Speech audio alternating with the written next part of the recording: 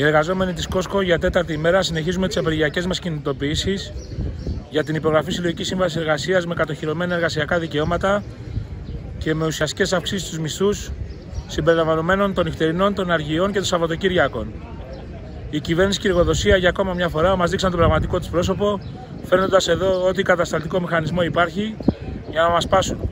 Οι εργαζόμενοι για άλλη μια φορά τους δώσαμε την απάντησή μας και συνεχίζουμε ενωμένοι μαζί με την υπόλοιπη εργατική τάξη της χώρας, η οποία έχει εκφράσει με όλους τους τρόπους που μπορεί την αλληλεγγύη της. Συνεχίζουμε δυναμικά και σας ευχαριστούμε όλους για την συμπαράσταση.